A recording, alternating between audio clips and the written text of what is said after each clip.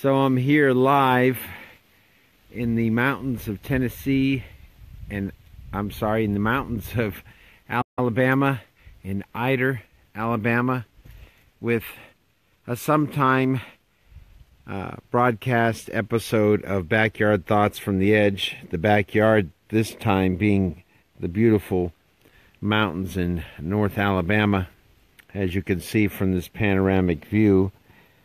I'm atop a mountain that I hiked up to, uh, and it's just beautiful up here and uh, I'm uh, the Rev, also known as Bruce, and uh, with this beautiful backdrop behind me, we have another episode of Backyard Thoughts from the Edge. And I just want to share with everyone that being out here has been an inspiration for me. I've wrote several poems. Also had the privilege of visiting several monuments of the Trail of Tears.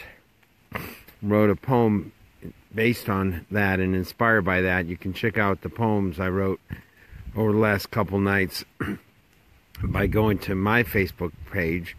We'll also be posting them on the Refuge Facebook page. But as, as, I'm, as I'm sitting here and thinking, and really, if you can hear that breeze, it's just amazing. I'm a little out of shape. I haven't hiked in quite a long time, but it's just beautiful. As you can see, God's creation in all its natural beauty, what formed over thousands, millions of years, uh, these beautiful rocks and moss and trees and the changing of the color of the leaves is just beautiful. And then you see all those mountains down there, just breathtaking and beautiful. And this is where liberation is. Back to deep ecology, to the earth. Um, I almost don't really have words to say. I just had to get on and talk about it. But it's just amazing. All the little creatures and leaves and moss. This, this rock formation here that I'm sitting atop of uh, probably formed hundreds of thousands of years ago. Several rocks here. Listen to that breeze.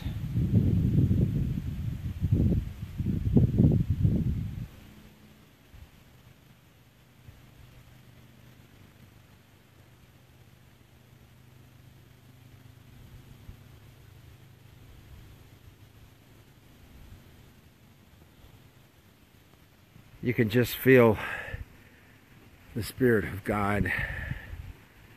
It's so liberating. Civilization sucks.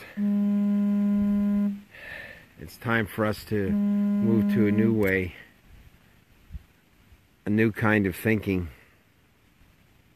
where we're not only intersected with the environment and intersected with our ancient roots. Uh, I'm reading this book right now by an indigenous First Nations writer called The Primal Mind, and it questions the whole, whole notion of what is civilized and what is primitive. How can we call ourselves a civilized society when there's so much hatred, murder, destruction, war, and technology used to hurt rather than improve mankind.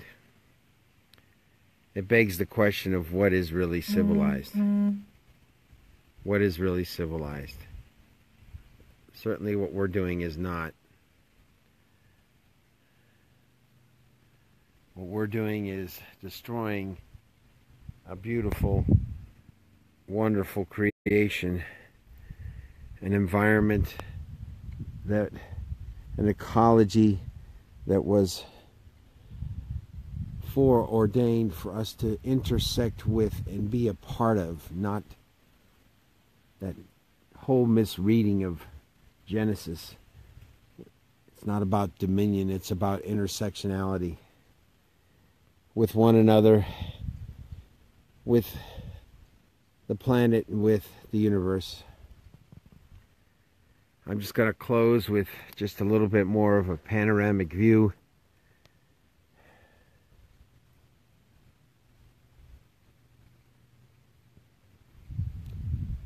Not much else to say. Listen to the bird and the wind.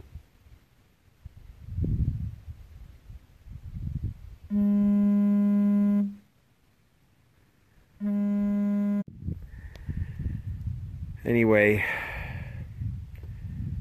this has uh, been Rev Reverend Bruce Wright with Backyard Thoughts.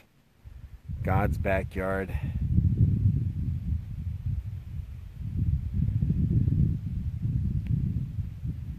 Backyard thoughts from the edge, a theology, a true theology of liberation.